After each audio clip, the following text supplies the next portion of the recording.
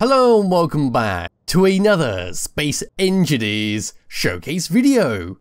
In today's video, we're looking at a modded fighter, and this one is called the STS Wyvern, which is this lovely thing right here. So this is a very sleek ship featuring the Star Wars weapons mod, the armored ramps, defense shields, and high output reactors. Pressing F10 and finding the STS in the spawn menu, there it is it is not 26,560 small blocks, it is 4,507. It's just being a little bit funny because of the projector block. Yes, it requires the decorative block number 2, the Sparks of the Future, and the Wasteland DLC packs, and like I said, it uses 4 mods, it's got a lot of scripts going on with it. We give this a thumbs up, we'll have a quick look around the outside, then we'll go on the interior and play around with what it can do. Yes, if I just tell my character to uh, bugger off over into the distance, there we go. We can now start right here. So at the very front, this is what we get. We've got a camera front and center to aim all of our lovely Star Wars mod weapons.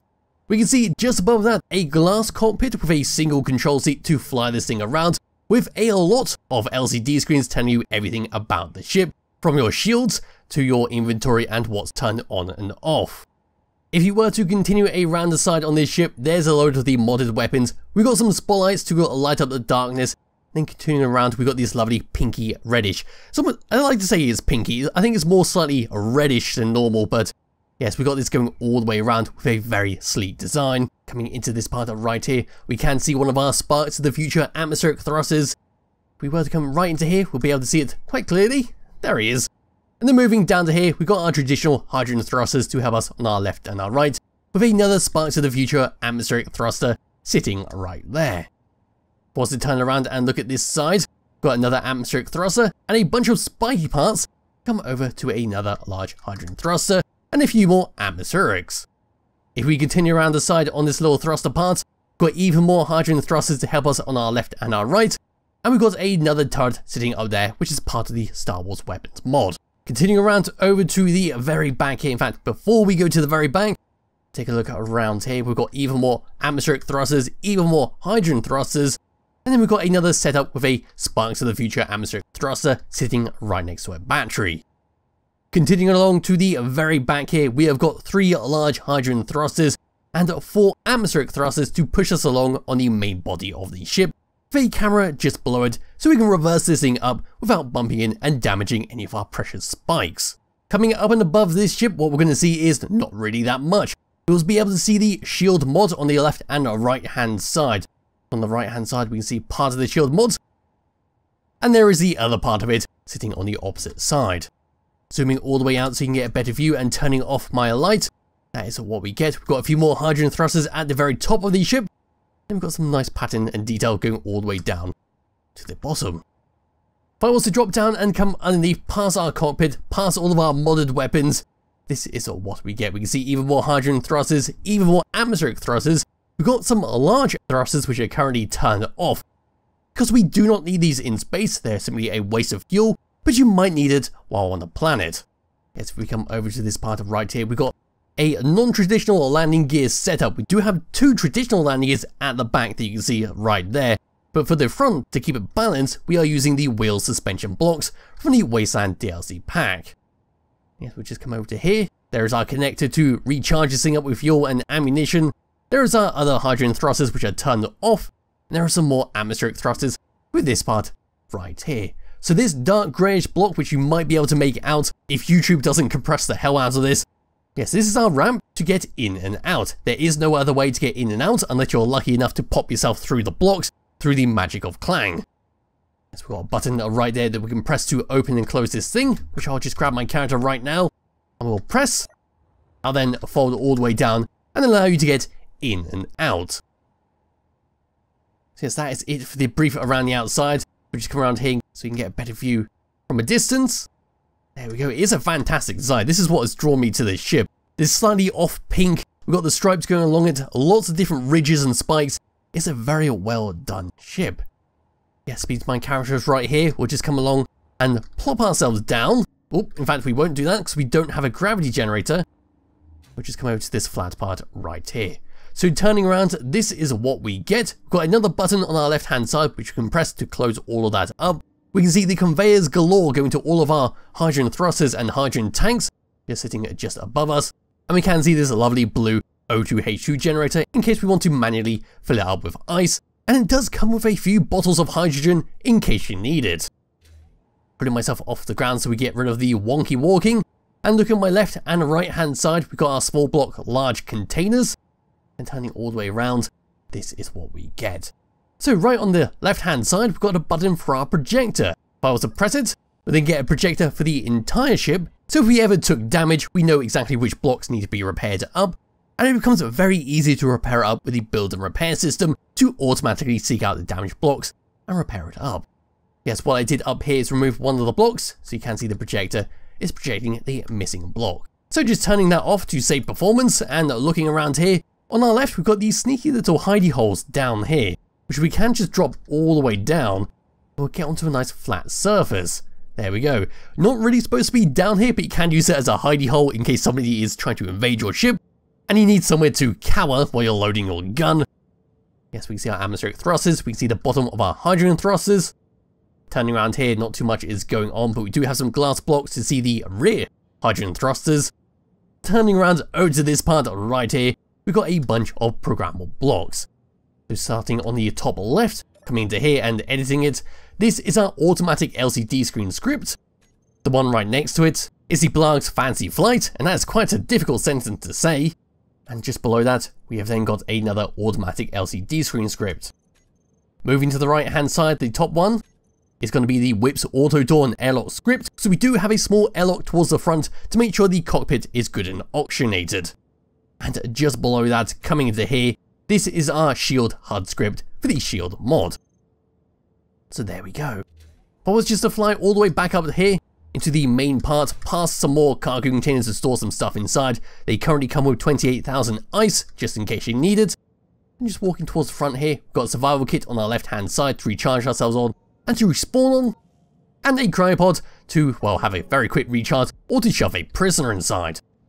Moving towards the front here on our left and right, we've got ourselves a reactor hidden behind some glass with an easy access point. The reactors come with 1.73k uranium already inside it, so you may want to get rid of that if you're just straight spawning it in, in survival mode.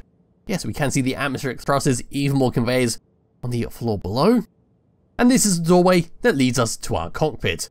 So just walking into here, and just closing that up, a little intermittent airlock Right inside here, not too much going on, just an air vent on the side there, and on the opposite. And now we can open up this, walk inside. Fact, I'm not even sure why I'm closing the door. We've got the auto door and airlock script, so we'll let the script have its fun here. There we go. And this is our cockpit.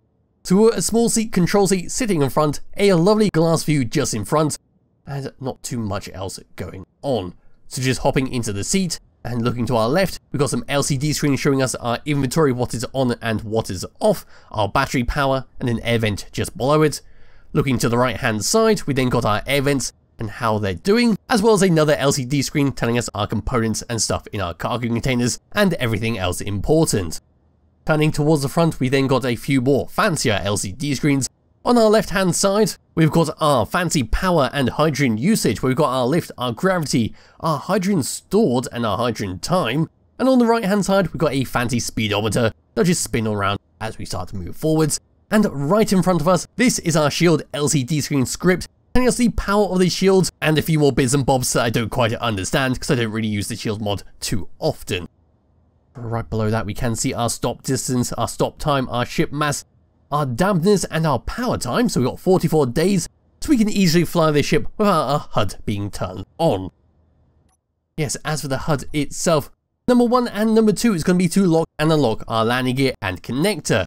Number 3 is going to be for our cruise control, so switching to the very front here, we can see that our large hydrogen thrusters at the front are currently turned on, and now we can switch them off so when we move forwards, we'll just cruise along at a constant pace. Turning that on will come to a complete stop.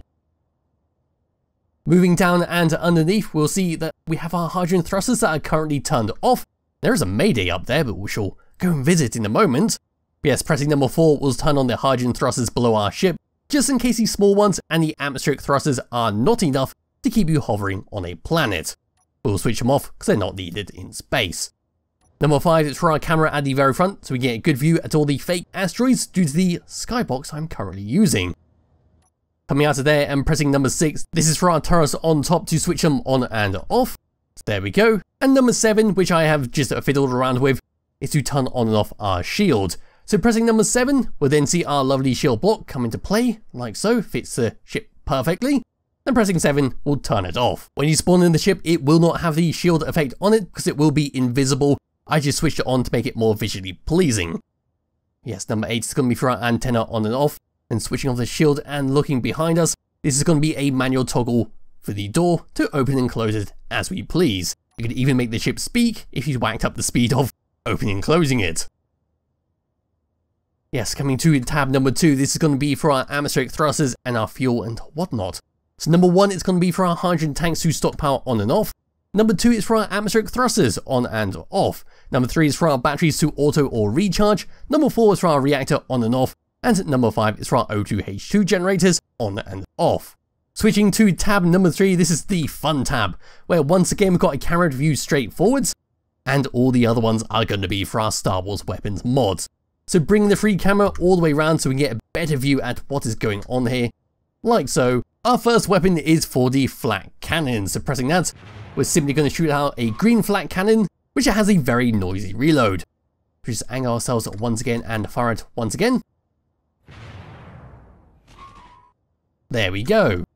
The next one is the concussion missile launchers. Uh, blah, blah. I'll say that again. The concussion missile launchers. Where we'll fire them. And there we go. They're like the standard missile launchers. They got a fancy sound go along with them. We'll fire them once again. There we go. The third weapon is the rotary blaster cannons. Now these I absolutely adore. So these are going to be the Gatling gun blocks. We can sort of see it right there. Just fire them. I mean, there's a lovely blue laser coming out. That's a glorious sound. So there we go. And the last weapon is the Vulture Cannon, which sits right above it. So switching to them, and firing it, we get a red pew pew noise. And yes, that is a very Star Wars, the sound effects. Just coming around to there, that's what the cannons look like while firing. And once again, the red lasers. So number 6 and number 7, I'm not too sure what they're supposed to do. It says on the Steam Workshop page is to control the left and the right hand rotary turret. Sure, these two are right there. But they don't seem to be working. I've tried fiddling with them in the control menu, but they don't seem to be working too well. Neither do they respond to any kind of commands on the hotbar. So we'll just ignore them for the moment. Number 8 is a blank spot, and number 9 is our rear camera to reverse this thing up. So here we go, I've just given the Albatross to the Space Pirates, I have turned off the visuals for the shield back to its default settings, I have somehow fixed the turrets on the side so they now function correctly. What we're going to do is try and see how well this goes by coming to tab number 3. We are starting to take damage, turrets, please do something. Now we're going to start shooting them with everything we've got. Now going to go with our blue lasers. Our shield is still at 100%. Or at least I hope it's still at 100%. I'm going to slowly start digging away at all of their turrets over there. So there's their turret gone there. There's that turret gone. And there is that. They seem to have stopped firing, which means the turrets have either done a fantastic job, or the Albatross has simply given up. We'll switch over to the Vulture Cannon. And come underneath, there is the turrets firing. They simply shoot the blue beams of death. And aiming up that a little bit higher. And there we go. Wow, the turrets are just tearing through all of this. And there we go. Wow, these Star Wars weapon mods are pretty damn powerful, considering they're just tearing away all of the blocks here. To the point we are acting as a eraser for the middle of the ship.